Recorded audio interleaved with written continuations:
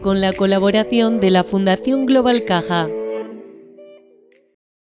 Es una especie clave para el medio que genera también graves problemas. Hoy en el Jardín Botánico se estudia cómo prevenir los daños que genera el conejo de monte en la agricultura. Es una especie clave para nuestras especies protegidas, como puede ser el lince, el águila imperial ibérica, pero tiene unas ciertas complicaciones en su gestión porque en unos sitios eh, escasea y en otros sitios tiene una sobrepoblación que genera unos daños importantes sobre la agricultura. Entonces el objetivo de estas jornadas es poner, eh, sentarnos en la misma mesa todos los colectivos implicados para intentar aportar una serie de soluciones. Estamos hablando de cazadores, de agricultores, de ganaderos, de gestores del medio, también de nuestros técnicos y nuestros biólogos.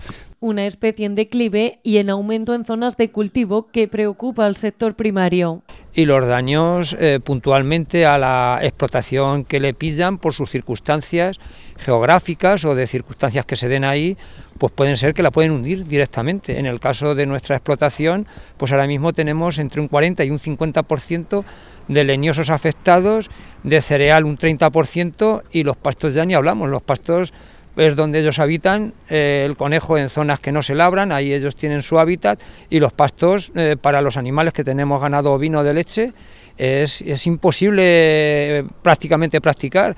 Aquí se dan cita a agentes implicados, tratan de establecer una estrategia y un comité ibérico para homogeneizar criterios y soluciones. Hasta ahora la más utilizada, la caza menor. Hay medidas que funcionan bastante bien como los vallados perimetrales eh, también el fomento de la depredación y algún tipo de abono foliar eh, que lo que hace es que les sepa mal el cultivo a los conejos y así eviten comerlo.